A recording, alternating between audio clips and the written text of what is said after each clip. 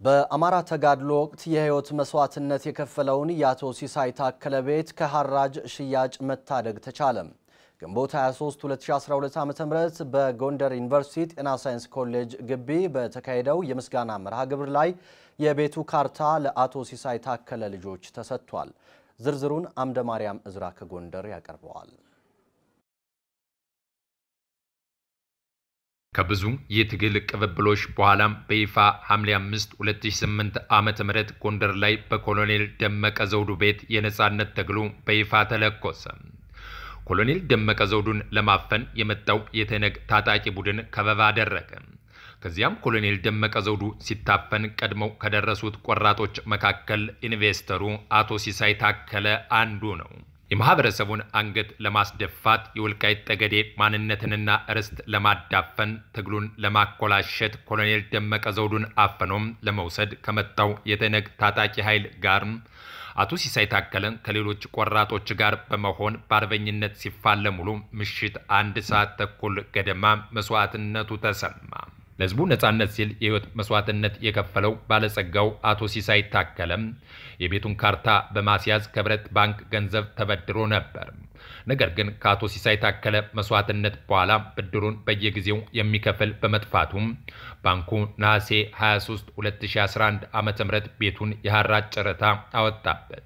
ከዚያም አቶ ሲሳይ ታከለም የአብራክ ከፋዮች የሰቀቀን ኑሮም ይገፉ ጀመር። መቼ ወጥተን በረንዳ ተጣል ይሉ ጀመር። ስሜ ሜሮንሳ ይባላል። ቤታችን በዕዳ ያለ በህብረት ባንክ ያለ በጣም እንጨነቅ ነበር። ካሁን ካሁን ቤቱ ተሽጦ እንወጣለን፣ ካሁን ካሁን ሌላ ቦታ እኛ ልጆችም እንበተናለን የሚል ስጋት ነበረኝ። ስሜ አቢሳ ይባላል። እዳው በህብረት ባንክ እያለ ዛሬም ነገም እንወጣለን እንሸጣል ምናምን እያልን ስጋት ነበረን። አሁን ግን የአባታችን ውለታ ባለመረሳቱና ህዝብ ህዝብ ከጎናችን እንዳለ ስላየነ በጣም ደስ ብሎናል። የዩኒቨርሲቲውን ማህበረሰብ በማስተባበር ከ1.6 ሚሊዮን ብር በላይ በማሰባሰብ ቤቱን ከሐራጅ ሽያጭ መታደግ ተችሏል። የአርበኛው ቤት ቢሸጥ ኑሮም ይላሉ ረዳት ፕሮፌሰሩ።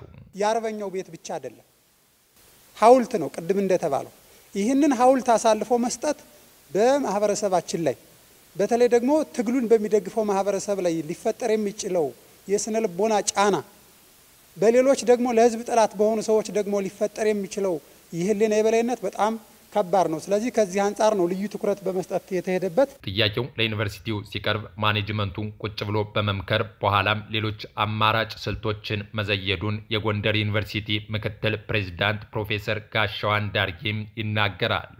እኚህ ታላቅ አርበኛ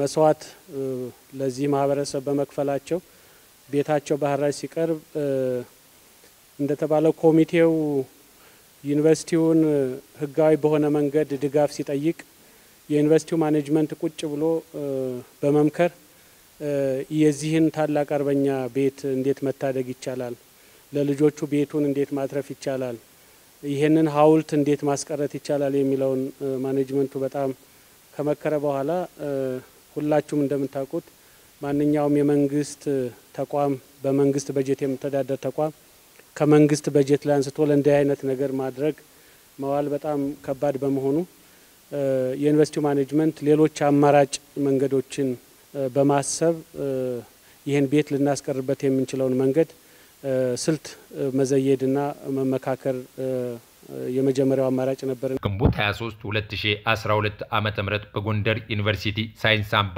አዳራሽ በተደረገው የምስጋና ፕሮግራም ህይወቱን ሳይሳሳ ለአማራ ህዝብ ለሰጠው አርበኛ ልጆች የቤቱ ካርታ ተረክቧል።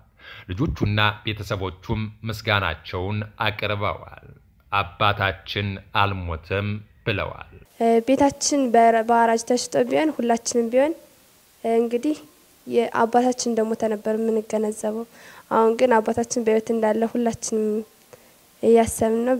በጣም ነው የምናመሰግን። ቾምቤም ቢሆን እንደ አባት እያሳደገን ነው። እስካሁን ደረጃም ድረስ እየረዳና ያለን በጣም ማመስገን እፈልጋለሁ። በጎንደር ዩኒቨርሲቲና ለመላው ጎንደር ህዝብ በጣም ነው የምናመሰግነው።